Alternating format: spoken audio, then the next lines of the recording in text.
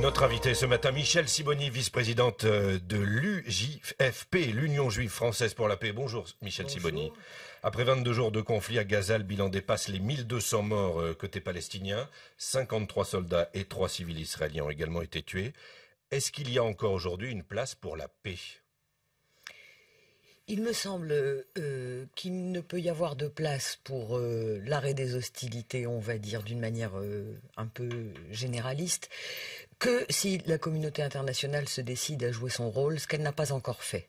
Ce qui me paraît particulièrement ignoble vu les chiffres que vous énoncez. On a la sensation d'États de, de l'Union européenne et des États-Unis qui regardent les bras croisés, qui comptent les morts, qui de temps en temps arrivent à négocier ou à faire négocier des trêves dites humanitaires. C'est comme si le politique avait décidé euh, de se croiser les bras et de regarder le massacre se produire. Il y a tout de même des, efforts américains. Hein. John Kerry, le secrétaire d'État, était dans la région. Il a tenté de concilier les points de vue, tenté de négocier une trêve humanitaire. Il y a aussi les appels de l'ONU, mais tout ça n'est pas entendu parce que, d'après vous, la communauté internationale n'est pas assez en pointe et à l'action? Non seulement elle n'est pas assez en pointe et à l'action, mais elle est en régression. Ce qui est éminemment dangereux. Euh, si on se rappelle du vocabulaire des Nations Unies euh, pendant l'opération Plomb durci, euh, les termes de crimes de guerre étaient prononcés, par exemple. En ce moment, on ne les entend pas. Il y a une espèce de pudeur scandaleuse, hein, ignoble, à mon avis, sur cette histoire, qui révèle une forme de, non seulement de lâcheté, mais je dirais presque de perversité. Il est scandaleux qu'on n'arrête pas Israël, comme si les États-Unis ou l'Union européenne n'avaient pas les moyens de le faire. Je vais juste rappeler un tout petit exemple. La fin de la première intifada se passe comment? Elle se passe par la levée de l'accord d'association qui euh, commercial hein, qui unit euh, Israël et l'Union européenne. Et en cinq minutes, Israël s'arrête et commence la conférence de Madrid qui entraîne le processus de négociation dit de Oslo. C'est-à-dire que euh, la perversité, ça consiste à faire croire qu'on n'a pas les moyens d'agir. Israël n'a que le pouvoir qu'on lui prête.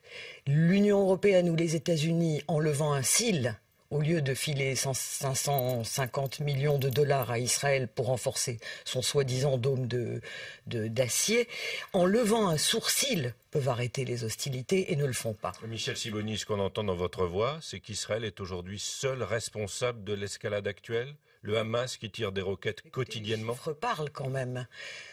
Ça veut dire quoi tirer des roquettes Quelqu'un a donné une excellente comparaison euh, sur un, texte, c'est Julien Salingue. Il disait euh, une femme violée qui se débat à coups de pied, on ne lui reproche pas d'envoyer des coups de pied.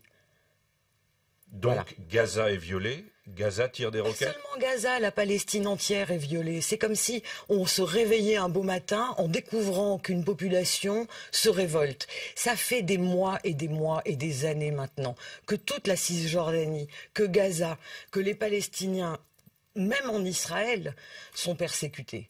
Et je, et je crois qu'aujourd'hui, on est dans une situation où on peut le dire en pesant ces mots.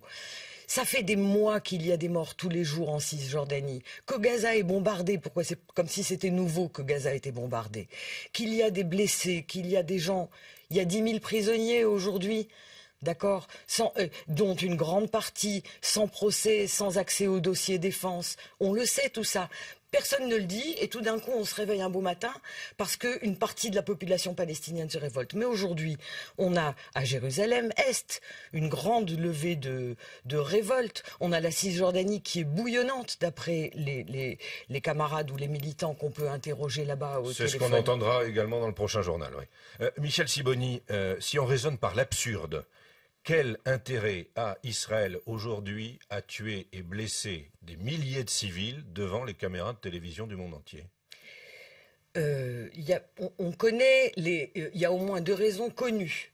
Une, c'est euh, empêcher à tout prix l'unité nationale qui était en train de se former entre le Fatah et le Hamas, entre le Fatah et le Hamas, et qui était en train, avec l'accord du Hamas, de ramener le Hamas sur un terrain beaucoup plus politique et beaucoup moins militaire. Donc il y a une volonté de tuer le Hamas politiquement. Il y a une volonté de l'affaiblir, de l'affaiblir parce que de toute façon, ça va affaiblir aussi l'autorité palestinienne. Il y a une, si la, stratégie, pour folle qu'elle soit, si elle existe, israélienne, consiste à tout faire pour empêcher euh, une quelconque euh, unité nationale et tout ce qui peut participer, par exemple, de la création d'un État. Et ça se voit dans de, dans de multiples mmh. domaines. Mais dès qu'il y a possibilité d'avancer, les négociations, par exemple, c'est aussi un des éléments de cette stratégie.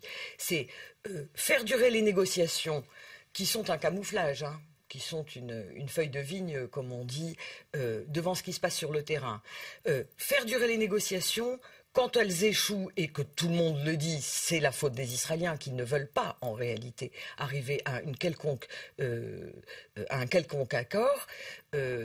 Et quand l'unité nationale tente de se reformer du côté palestinien, alors il y a cette attaque. Euh, Michel Siboni, euh, l'opinion publique israélienne, les sondages le disent, hein, est majoritairement favorable à la poursuite de l'opération militaire actuelle. Comment est-ce que vous l'expliquez? Écoutez, il y a un excellent article d'Akiva Eldar qui a été traduit en anglais. Akiva Eldar est un éditorialiste du Haaretz qui explique comment euh, Netanyahou a, a, gagné la bataille de l'opinion, mais c'est pas difficile en Israël. On a une opinion qui est extrêmement travaillée par une propagande qui dure depuis pratiquement la naissance de l'État, qui fait toujours vivre les gens en situation de peur et d'insécurité. Euh, Mais la, sécurité est réelle. Les, tirs de roquettes du Hamas et des roquettes qui arrivent de plus en plus près des villes, c'est une réalité. Les roquettes qui sont abattues au-dessus de Tel Aviv, c'est une réalité de ces dernières semaines.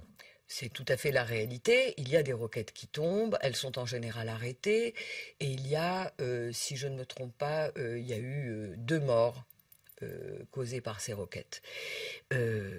Mais faire vivre les gens en situation de, sensation de menace existentielle c'est une différence. On peut être en situation de danger à des moments donnés. Mmh.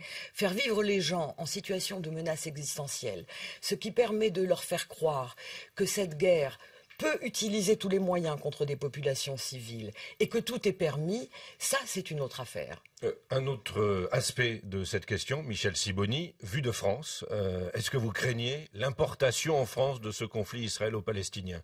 On a vu des débordements lors de rassemblements, est-ce que c'est à craindre? Écoutez, le terme importation me, paraît comique aujourd'hui. je crois que nous sommes dans une situation où Michel Warszawski, qui est un, vieil ami et un anticolonialiste euh, israélien, quand il parlait de recolonisation du monde et de guerre permanente comme mode de, modalité du pouvoir d'aujourd'hui, chez les néoconservateurs, je ne comprenais pas très bien ce qu'il disait. Je crois qu'aujourd'hui, je commence à comprendre. Euh, il y a un mode de gestion des sociétés qui se fait par la peur euh, et par le sécuritaire. Importer le conflit, c'est aussi importer des assignations qui sont les mêmes qu'en Israël, c'est-à-dire tout ce qui est arabe est dangereux et terroriste et menaçant, euh, tout ce qui est juif doit être privilégié et mis à part. De mon point de vue, c'est antisémite si vous me demandez. La seule chose qui peut protéger les juifs dans le monde, c'est de faire des gens, de faire d'eux des gens comme tout le monde, c'est-à-dire soumis à la loi. Et d'un mot, est-ce que euh, les événements actuels à Gaza alimentent un nouvel antisémitisme en France?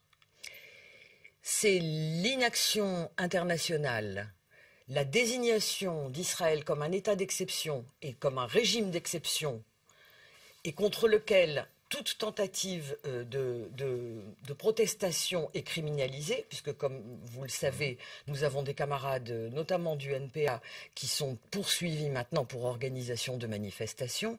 C'est ça qui est dangereux euh, pour répondre à votre question. Merci Michel Siboni, vice-présidente de l'Union juive française pour la paix.